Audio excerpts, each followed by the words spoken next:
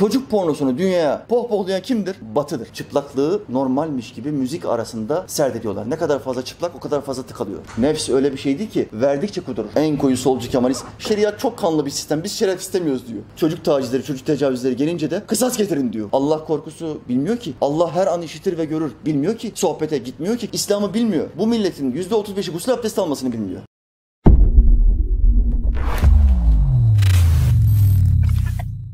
Onun taşkınca isteklerini önlemek içindir. İslamiyete uyuldukça nefsin istekleri azalır. Taşkınca isteklerinden bir tanesine en küçükten başlıyor. Evde porno seyretmek. Önce erotik kliplerle başlar, müzik klipleri. Çıplaklık, batı biliyorsunuz dünyaya çıplaklığı, pornoyu ve pedofiliyi, çocuk zinasını, çocuk pornosunu dünyaya pohpohlayan kimdir? Batı. Bunu rakamlarla burada bu kürsüde anlattım. O videomu da bulabilirsiniz. Çocuk pornosunu dünyaya pohpohlayan kimdir? Batıdır. Bütün siteleri batılılar açmıştır. Dünyada en çok çocuk istismar yapan grup kim? Hristiyan papazları. Bak Hristiyanlar değil. Hristiyan papazları. Dünyada çocuk istismarını en fazla yapanlar Hristiyan papazlarıdır. Neden? Evlenmiyorlar. Fıtratlarına aykırı davranıyorlar ve çocukları, çocuk talebeleri güya Hristiyanlığı öğretecekler ama taciz ediyorlar. Papa bile açıklama yaptı. Utanıyorum artık dedi. Para vermekten halka, çocuklara taciz olmuş halka dava açmasınlar diye para vermekten, rüşvet vermekten artık utanıyorum. Allah'ın dediğini yapsaydın bu adamlar kendi kafalarından biz evlenmeyeceğiz, bu Allah'ın emridir diye hüküm çıkartmasalardı evlenirlerdi. Fıtratlarıyla oynamazlardı. Bu sapıklıklar da ortaya çıkmazdı. Bütün her şey nereden başlıyor? Erotik kliplerden. O izlediğiniz şarkılar var ya, milyonlarca tıkalan o YouTube'daki klipler. Çıplaklığı normalmiş gibi müzik arasında serdediyorlar. Ne kadar fazla çıplak o kadar fazla tıkalıyor. Küçük erotik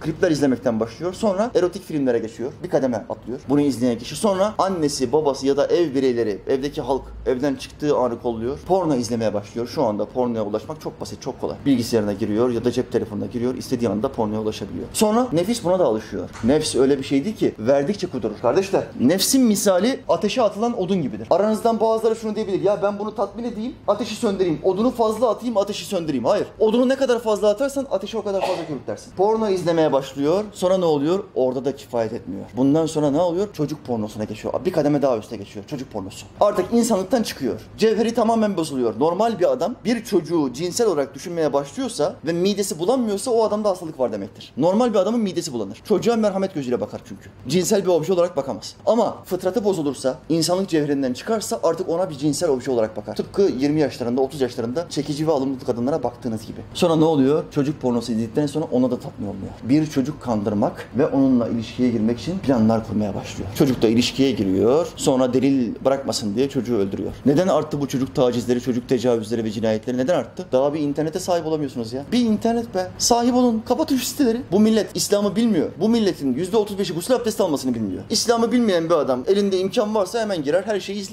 Allah korkusu bilmiyor ki. Allah her an işitir ve görür. Bilmiyor ki. Sohbete gitmiyor ki. Kitap okumak zaten hak getire. Kimse kitap okumuyor. Bu adam İslam'ı nasıl öğrenecek? Öğrenmediği için ona her yol mübah oluyor. Zaten 100 yıldan beri okul kitaplarında İslam namına hiçbir şey yok. Teizm yani İslam'da diğer insan yapımı dinler gibi sıradan bir din. Muhammed'in uydurduğu bir din. Haşa ve kella. 100 sene boyunca kitaplarımızda İslam Muhammed'in kendi başına kurguladığı ve uydurduğu bir din olarak anlatılmıştır. Yeni yeni temizlemeye başladılar şimdi 10 senede 15 senede. 100 sene boyunca bu halka bunları anlattılar. Halkın büyük çoğunluğu da inandı ama yarısı da inanmadı. Hayır biz bunları kabul etmiyoruz. Biz Müslüman olarak bu kitabın Allah yazması bir kitap olduğunu biliyoruz. iman ediyoruz dediler. Aldanmadılar, kanmadılar. Bu milleti dinsizleştirmek istediler. Allah muvaffak etmedi. Başarısız oldular. Şimdi geriye dönüşüm başladı. Müfredatımız değişiyor. Eğitim sistemimiz yavaş yavaş değişiyor. Bunun düzelmesi için bize bir 40-50 sene civarı lazımdır. 40-50 sene içinde halk İslam diniyle mücehhez olduğu zaman, Allah'ın dinini bildiği zaman suç oranları düşecektir. Hele hele bu tip insanlık cevherini kaybetmiş adamlara şeriatın emrettiği hükmü verdikleri zaman ne olur? Ne çocuk tacizi kalır,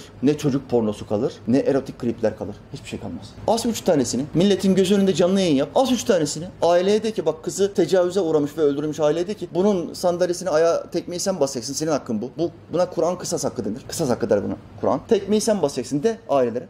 Ve canlı yayında bunu 70 milyona 80 milyona seyrettir. Hadi bakalım yapıyorlar mı? 10 dakikalık keyif için can var can yapmaz. Ama işte biz biz batılılardan korkuyoruz idamı getiremeyiz ama hadım cezasını getirelim. Neden Allah'ın sözünü tutmak bu kadar zor mu ya? Bütün halk en koyu Kemalistler bile, en koyu solcular bile bunlar İslam'a karşı olan insanlardır. Bize İslam yönetmemeli, insanlar yönetmeli diyen insanlar bunlar. Bunlar bile itiraf ediyor ya kısas istiyoruz diyor adamlar kısas. Bunlar bile kısas diyor ama sen diyorsun ki Batı bize ne der? Ya Batı bizi yaratmadı ki. Batı bizim efendimiz değil. 10 asır boyunca Batı'yı biz yönettik. ettik. Onlar bize hizmet ettiler. Yaşa İslam'ı Allah seni tekrar efendi yapsın. Ama sen hep Batı bize ne der acaba? Batı bizi Avrupa Birliği'nden çıkartmasın. Batı'ya özetle şunu diyeceksin. Bir Batılı geldiği zaman sizin karşınıza. Bak sizi Avrupa Birliği'ne almayız ha. Şu cümlemi kurun Batılı'ya. Canın cehenneme sürtük. Onların anlayacağı lisan budur. Canın cehenneme sürtük. Avrupa Birliği. Ne bu Avrupa? Cennet mi burası ya? Avrupa Birliği. Hepsi batıyor. Hepsi aç. Yunanistan'dan Müslüman kardeşim bana mesaj gönderdi. Hocam her gün 30 euro çekebiliyoruz bankamatikten. Aç adamlar ya. Kalkmışlar 2 milyon nüfusla bize kafa tutuyorlar. Bak sizi işgal ederiz ha diyor. Yunan 2 milyon nüfusla adamlar aç. Her gün 20 euro 30 euro bankamatikten çekiyor. Bize kafa tutuyor. Subhanallah.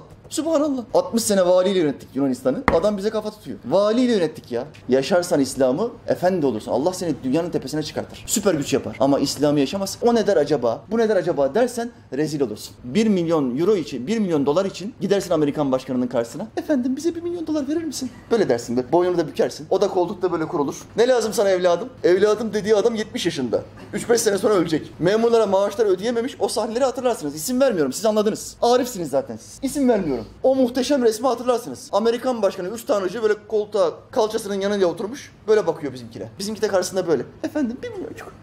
Böyle duruyor. Bundan büyük zillet olur mu ya? Bizim insanımıza bundan büyük zillet olur mu? Bu adam bize 23 sene vergi verdi bu. Amerikalı. 3 tanrıcı. 23 sene bunun gemilerini kurudu. Osmanlı. 23 yıl boyunca bize vergi verdi. Nereden nereye? Nereden nereye? 1 milyar dolar için yalvarmaya gittiler. Yaşamazsan Allah'ın dinini rezil eder Allah seni. 3 tanrıcı kafiri yükseltir, seni alçaltır. Bu kitabın dediğini yap. Kısası getir, idamı getir. Bu milletin vicdanını rahatlat artık. En koyu solcu Kemalist. Şeriat çok kanlı bir sistem. Biz şeriat istemiyoruz diyor. Çocuk tacizleri, çocuk tecavüzleri gelince de kısas getirin diyor. Ulan sen hani şeriat istemiyordun? Kısas diyorsun şimdi. Ama yok. Tamam o hükmünü kabul ediyoruz. O hükmünü kabul ediyoruz. E ama hırsızlık konusunda el kesmek de çok çok fazla hocam ya. Bunu kabul edemiyorum hocam. Arabası bir çalınıyor bu Kemalist'in. Arabası çalmışlar. Kemalist'in. Bana mesaj gönderdi. Arabasını çalmışlar. Ya hocam senin sohbetleri seyrediyorum. Sana da atıp tuttum. Hakkını helal et. Hakaret ettim hocam arkandan. Yok böyle şey mi olur şeriattan bahsediyor falan. Allah'ın hükmüymüş falan. Arabam çalındı hocam diyor. Allah şahidim olsun diyor. O hırsızı yakalasam elini kesmem diyor. Elini kesmem. Başka bir şeylerini keserim diyor. Bak siz anladınız. Elini kesmem diyor. Ne oldu hani şeriata karşıydın? Başına gelince ama hemen istiyorsun değil mi şeriatı? Allah seni senden daha iyi biliyor.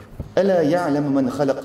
Yaratan yarattığını bilmez mi? Bu insanı Allah yarattıysa en iyi Allah bilir. Allah da diyor ki o adamın yaşamaya hakkı yok. 3 yaşında çocuğu öldürebiliyorsa, tecavüz ettikten sonra öldürebiliyorsa o artık insanlıktan çıkmış. Hayvanın bile yapmayacağı bir şey yapmış. Öldür, huzur bul. Kısasta sizin için hayat vardır. Bu da başka ayettir. Kısas ölüm, hayat vardır. Ölümde, öldürmekte sizin için hayat vardır diyor Allah. Bu kadar açık tek kelimeyle hayatın, bütün insanlığın kurtuluşunu nasıl anlatabilirsin ya? İşte bu ayet anlatıyor. Kısasta sizin için hayat vardır. Öldür bu adamları bak nasıl huzur geliyor memlekete. Teröristi alıyorsun, hapse atıyorsun. Niye benim paramla bakıyorsun bu adama? Öldür bu adamı kardeşim ya. Sık kafasına bırak leş olsun. Vatana, millete, İslam'a ihanet ediyor. Bu adamın yaşamaya hakkı yok. Öldür gitsin. Ama yok. Bakıyoruz hapishanede de hala bakıyoruz. Benim paralar boyuna gidiyor. O vergi, bu vergi, kaldırım vergisi, elektrik vergisi boyuna paralar benden gidiyor. Zoruma gidiyor kardeşim ya. Kafire bakmak, benim paramla kafirlerin beslenmesi zoruma gidiyor. Sizi bilmiyorum ama benim zoruma gidiyor. Allahü Teala bu başımızdaki insanlara izan versin.